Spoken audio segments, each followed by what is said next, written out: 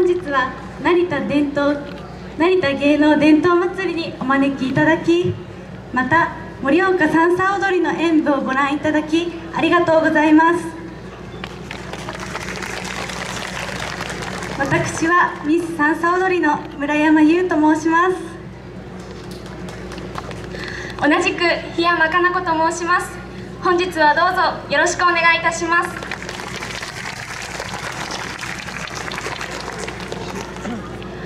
ここで盛岡三叉踊りについてご紹介させていただきます。盛岡三叉踊りは毎年8月1日から4日までの4日間開催され勇壮な太鼓の音色と華麗な踊りの群舞が魅力の岩手県を代表する夏祭りの一つでございます。42回目を迎えた今年は4日間で延べ253団体3万5500人の方々にご参加いただき盛大に開催されました。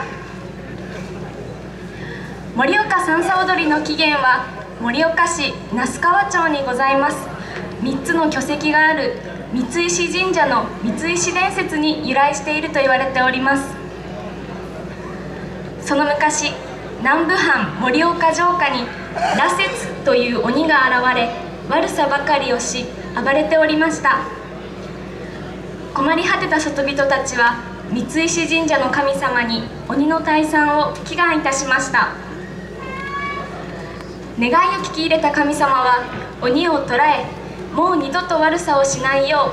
う誓いの証として境内にある大きな3つの岩に鬼の手形をさせました。岩に手形岩に手岩手これが岩手県の名の由来となったとも言われております。鬼の退散を喜んだ里人たちは3つの大きな岩の周りを三叉三叉と言いながら踊ったことが盛岡三叉踊りの始まりだと言われております。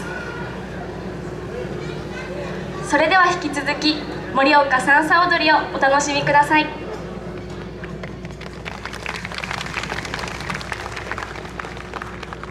えー、続きましても森岡さんの踊り第4の踊り「福を呼ぶ」「福踊り」をご披露させていただきます。